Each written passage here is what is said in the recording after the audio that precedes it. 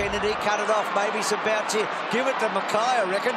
But goes to Paulson, and he's just beautifully wrapped up and tackled and gone. What a tackle. Thomas, high footy, got about 30 in it, got to go. McKay did bravely.